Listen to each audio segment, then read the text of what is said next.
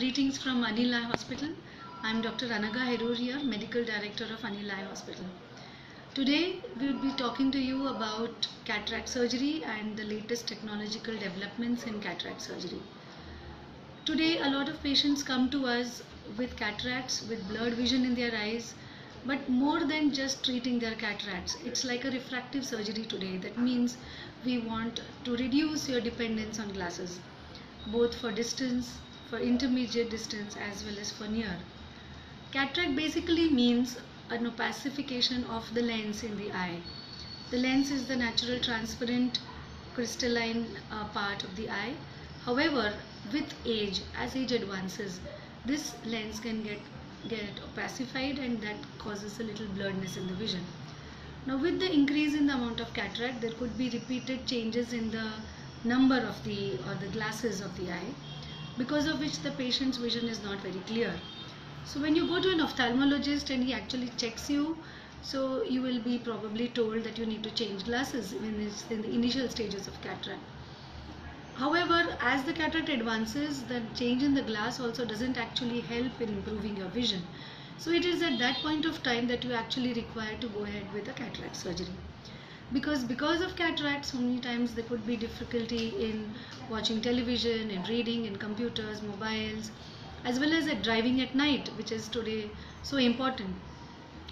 When you come for a cataract surgery the first thing that we do is have a complete checkup of the eye. So today we have the best instruments possible to get the perfect intraocular lens power that is going to be inserted in the eye during cataract surgery now the intraocular lens is a special lens that is inserted into the eye and this is made of a hydrophilic or a hydrophobic acrylic material and it is inserted in the eye through just a 2.2 or a 2.8 millimeter incision.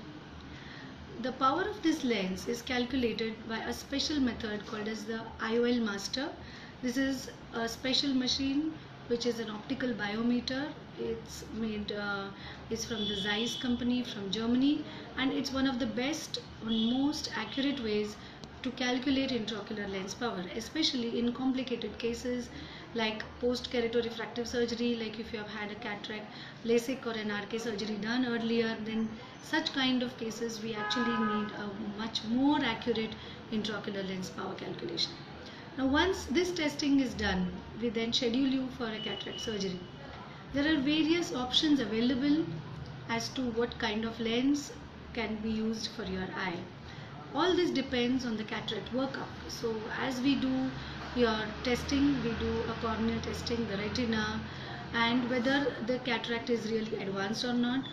Once this testing is done and the surgery is scheduled the patient is given a complete information as to what are the formalities required there need to be certain drops that you need to put inside the eye before you come for the surgery during the surgery, the patient is absolutely comfortable. We use topical anesthesia, that means just drops, anesthetic drops are instilled into their eye two through three times before the surgery.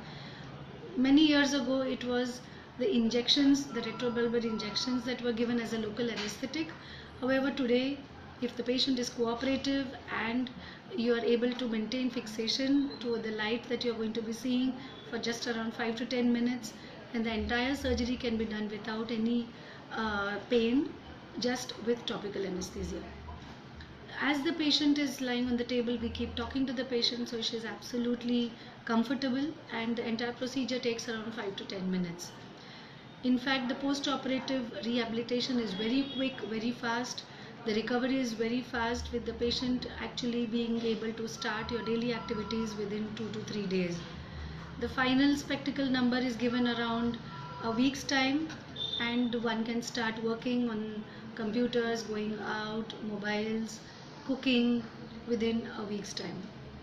Now if you come to the kind of lenses that I mentioned earlier, today we have premium lenses in the form of aspheric lenses. Now these lenses give better contrast sensitivity, better clarity and precision in the vision.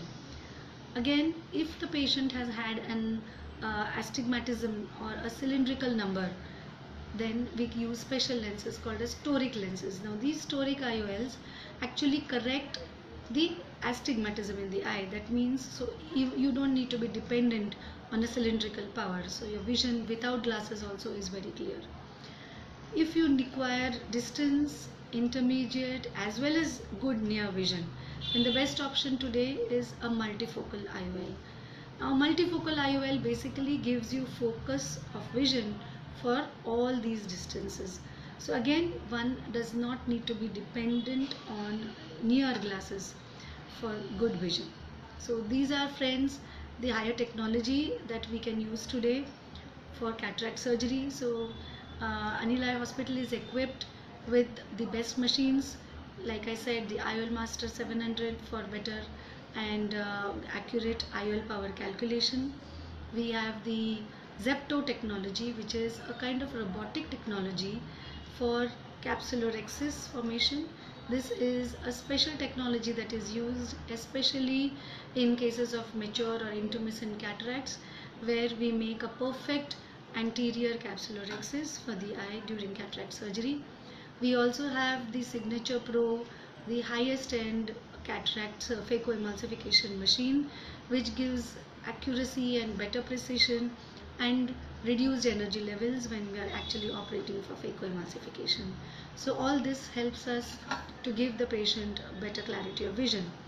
Our operation theatre is also equipped uh, with a HEPA filter, laminar flow technology where the air is purified to almost 99.99% so as to reduce the chances of uh, air contamination.